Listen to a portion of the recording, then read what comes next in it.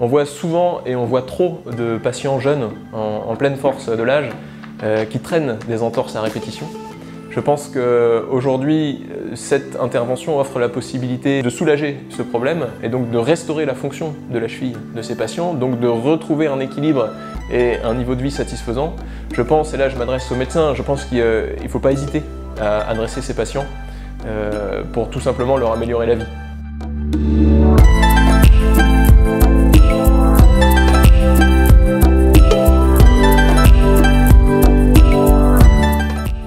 Il s'agit donc de reconstruire le ligament de la cheville qui fait défaut, souvent suite à des entorses. Aujourd'hui, on en parle de cette ligamentoplastie parce que j'ai développé ici, à la clinique Louis Pasteur, la technique par arthroscopie. C'est donc une technique qui n'est pas nouvelle, qui existe depuis plusieurs années en France, mais qui n'était pas disponible à Nancy. Et euh, on la propose donc à nos patients ici à la clinique Pasteur. La force de cette ligamento-arthroscopique, c'est justement sa reconstitution anatomique du ligament latéral externe. C'est d'autant plus intéressant qu'il existait auparavant une cinquantaine de techniques différentes, à ciel ouvert ou même par arthroscopie, mais qui ne reproduisaient pas les trajets anatomiques et qui pouvaient donc induire comme effet secondaire des phénomènes de raideur, de douleur et même parfois une arthrose Le bénéfice de cette arthroscopie euh, et de la reconstruction anatomique de ces ligaments, à mes yeux, il est triple. Le premier, c'est d'abord euh, la garantie d'avoir une reconstruction parfaite, la plus proche de la réalité. Le deuxième avantage, pour moi, c'est un avantage esthétique.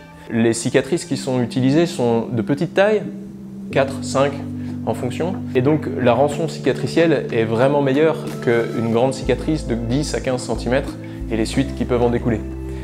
Enfin, le troisième avantage, à mes yeux, c'est la rééducation et la remobilisation précoce, puisque le protocole post-opératoire utilise d'abord une botte qui permet de marcher assez vite, puis, au bout de trois semaines, une attelle Aircast, la même que portent les patients après une entorse, jusqu'à la fin de la sixième semaine. Au final, le patient marche assez vite, les suites sont peu douloureuses et la rééducation d'autant plus simplifiée. Le public concerné par cette intervention est un public euh, parfois sportif, qui subit plusieurs entorses, souvent des entorses à répétition.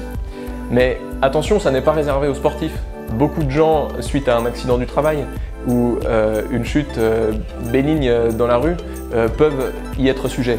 6500 entorses par jour en France. Dans 70% des cas, l'évolution est favorable, mais il reste un certain pourcentage de cas où des douleurs vont se développer et parfois même des entorses récidivantes. Proposer cette intervention, c'est élargir notre offre de soins. C'est donc un plus pour nos patients. Il s'agit de patients actifs la plupart du temps. Euh, globalement une tranche d'âge 20-60 ans, on peut même dire 20-50 ans.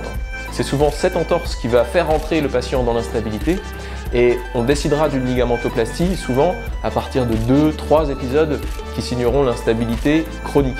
Travailler cette ligamento sous arthroscopie, ça n'est pas récent, ça a été développé euh, un petit peu en dehors de l'Hexagone et en France, ça fait déjà une dizaine d'années que des équipes ailleurs de Nancy euh, travaille sur ce sujet. Donc il était temps ici qu'on propose ça à nos patients.